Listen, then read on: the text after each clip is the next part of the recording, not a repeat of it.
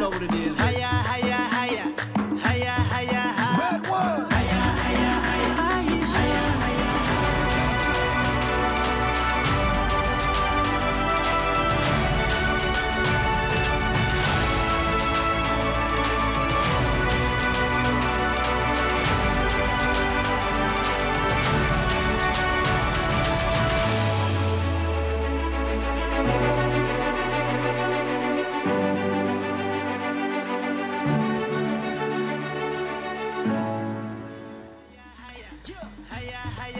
¿Cómo están? Bienvenidos a Ovación Mundial. Increíble. Llegamos al último micro antes de que comience la competencia. Ya el próximo domingo tendremos acción y ya estará allí nuestro enviado especial, Matías Pascualetti, junto a Paula Jalil, nuestra enviada, para traernos todos los detalles. Nos quedan tres mundiales por repasar. Arrancamos por 1930 y llega momento de Maradona en el 2010, de la increíble final perdida en el 2014 y la gran decepción de Rusia 2018.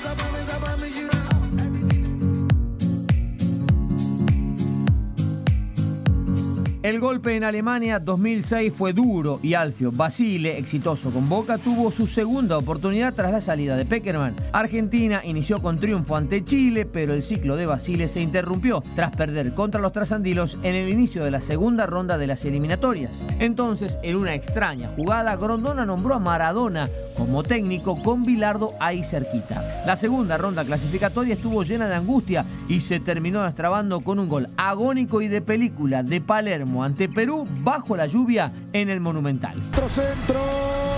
La pelota le quedó para el Pocho. Pegale. Ahí va el Pocho.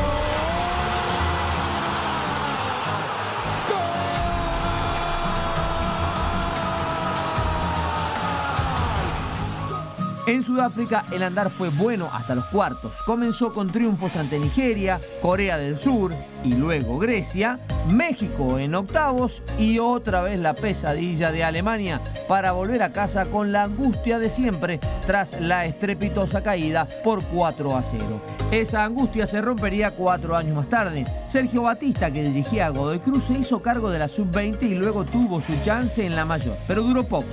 Entonces Alejandro Sabela inició el camino que nos llevaría a la final.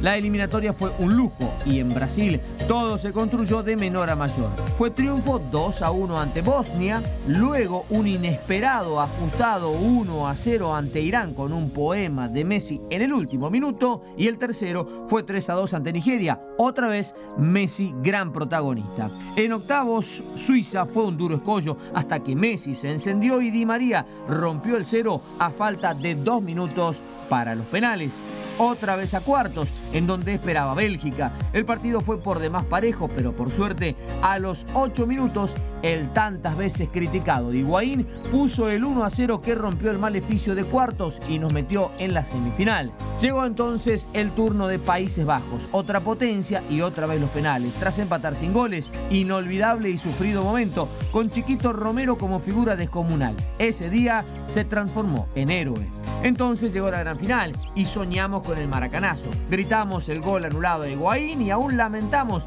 las chances perdidas por el Pipa, Palacio y Messi. Y más aún, la inesperada aparición de Gotze para llenarnos de tristeza. La derrota no opacó el reconocimiento eterno a un plantel que nos devolvió al partido final tras 24 años.